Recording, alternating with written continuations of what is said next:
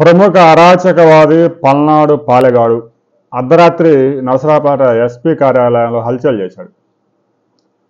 ఇక ఈవీఎం భద్రగొట్టిన దాంట్లో ఆరో తేదీ వరకు టచ్ చేయొద్దని హైకోర్టు తీర్పు ఇచ్చేసింది ఇక మామూలుగా సుప్రీంకోర్టుకి అయితే కేంద్ర ఎన్నికల సంఘం ఇప్పుడు వెళ్ళదు. ఒక ఏడు ఎనిమిది సంవత్సరాల తర్వాత సుప్రీంకోర్టుకి వెళ్తారు. అప్పుడు ఎవడు ఉంటాడో ఎవడు పోతాడో తెలియదు. ఇక కారంపూడి సిఐ నారాయణ స్వామి మీద తలకాయ పెట్టిన కేసులో కూడా త్రీ నాట్ సెవెన్ బుక్ అయినా ఆయన ఆరో తేదీ దాకా అరెస్ట్ చేయకూడదట. ఈ బుద్ధ భగవాను ఆరో తేదీ దాకా ఎవరు టచ్ చేయవద్దు.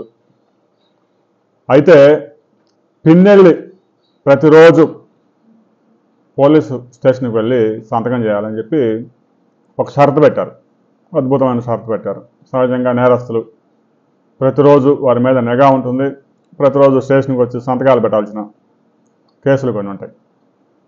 ఇక అర్ధరాత్రి ఖచ్చితంగా పన్నెండు గంటలకి నరసరాపేట ఎస్పీ మల్లికా గార్గ్ కార్యాలయంలో పల్నాడు పాలెగాడు దిగాడు. మరి ఆ సమయంలో మల్లికా గార్గు కార్యాలయంలో ఏమి జరుగుతూ ఉందో తెలియడం లేదు.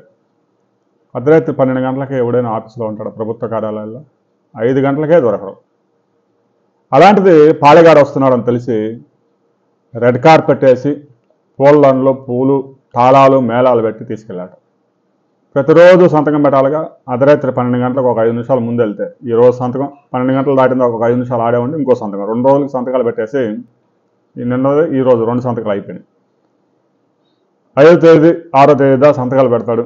ఇంకా తర్వాత నువ్వు సంతకాలు పెట్టాల్సిన అవసరం ఉంటుంది నాలుగో తేదీ ఫలితాలతోనే మీ భవిష్యత్తు తేలిపోయిద్ది. అసలు ఎప్పుడైతే మధ్యాహ్నం రెండు గంటలకి హైకోర్టులో తీర్పు వచ్చిందో ఆరో తేదీ దాకా ఈ పాలెగాన్ని టచ్ చేయొద్దని హైకోర్టులో తీర్పు రాగానే గబాలన బయలుదేరి హైదరాబాద్ నుంచి సాక్షి గెస్ట్ హౌస్లో నుంచి నర్సరాపేట చేరుకున్నాడు హైదరాబాద్ నుంచి ఎంత వేగంగా వచ్చినా నర్సరాపేట కనీసం నాలుగు గంటల సమయం పట్టింది. మరి పోలీసు వాళ్ళు ఎనిమిది బృందాలు ఎత్తుక్కుంటూ ఎత్తుక్కుంటూ ఎడిపోయే ఆ బృందాలు ఎక్కడ ఉన్నాయో కూడా తెలియడం లేదట. కేంద్ర ఎన్నికల సంఘం ఆదేశించిన రాష్ట్ర ఎన్నికల ప్రధానాధికారి వైసీపీ అధికార ప్రతినిధి ముఖేష్ కుమార్ మీనా ఆదేశించిన డీజీపీ ఆదేశించిన కోర్టు ఆదేశాలు తీర్పు వచ్చే వరకు ఇంటికి కూడా పీక పీక పీకలేకపోయారు. అంటే పాలెగాడికి ఒక ఐజీ దగ్గరుండి పోలీసు వాళ్ళ కదలికలన్నీ ముందే సమాచారం అందజేస్తున్నట పాలెగాడిని తప్పించారు. ఆరో తేదీదా తప్పిస్తారు. ఆ తర్వాత తప్పించుకోలేరు. నాలుగైదు రోజులు ఎంజాయ్ చేయండి ఒక వారం రోజులు. నాలుగో తేదీ దాకా ఎంజాయ్ చేయండి. ఇంకా తర్వాత ఐదు సంవత్సరాలు నరకం తప్పదు. నాలుగో తేదీ సాయంత్రానికే గొడవలు జరిగే అవకాశం ఉందని రాష్ట్ర ఎన్నికల ప్రధానాధికారికి మూడో నేత్రం పనిచేసిందంట. అదనపు బలగాలు తెప్పించాడు. ఎన్నికల తర్వాత జరిగిన హింస మీద మాత్రం పిసుక్కున్నాడు ఒక కానిస్టేబుల్ని కానీ హెడ్ కానిస్టేబుల్ను. హోంగార్డ్ని కూడా సస్పెండ్ చేయలేదు. ఏదో కేంద్ర ఎన్నికల సంఘం చర్యలు తీసుకుంది కాబట్టి రాష్ట్ర ఎన్నికల ప్రధానాధికారి వైసీపీ అధికార ప్రతినిధి ఒక ముగ్గురు ఎస్పీఎల్ని ఇద్దరిని సస్పెండ్ చేసి ఒకరిని బదిలీ చేశారు. అద్భుతంగా చేశారు అల్లర్లు.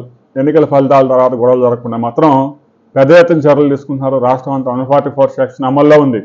ఎక్కడ నలుగురు పోగు కావద్దు పొరపాటున టీడీపీ ఆఫీసుల్లో కానీ టీడీపీ టెంట్లో కానీ ఒక నలుగురు ఉంటే వైసీపీ అధికార ప్రతినిధులు పోలీసులు ఎస్ఐలు సిఐలు వచ్చి దాడి చేసే అవకాశం ఉంది. వన్ ఫార్టీ ఫోర్ సెక్షన్ ఉంది. అలా ఉండొద్దు. నాలుగో తేదీ ఫలితాల తర్వాత ప్రశాంతంగా ఉండండి. హింసకు పాల్పడవద్దు.